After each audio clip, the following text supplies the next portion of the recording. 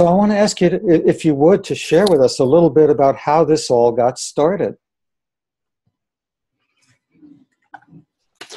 Great.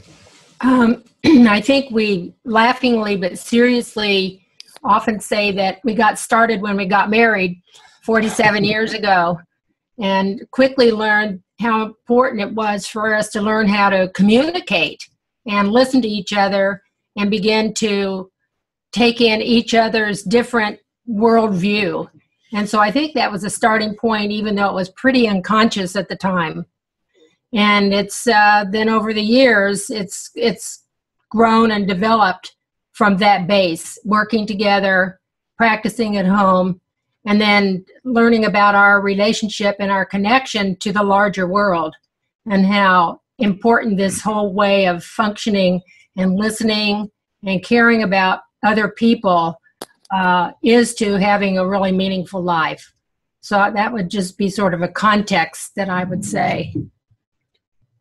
It re- really, the listening part of it, um, listening to the friend or the enemy or the adversary or whoever we're with is really important. And listening to Earth, um, Marty and Claudia are so interested in water, and, and it's so interesting, and, and so are we.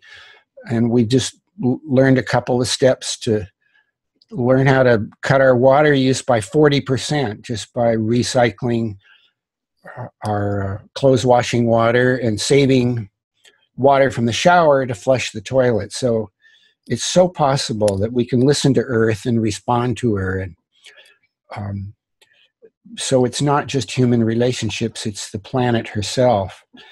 Um, and we just continued this list with our parenting, um, then working with at, in a community of people, uh, working with adversaries like the Soviets and the others, the Israelis and Palestinians. And, you know, you look at Ofu, and he's just a person who came into our life and uh, just a couple years ago, and you were take a good look at him because he's one of the great practical peace builders on the planet.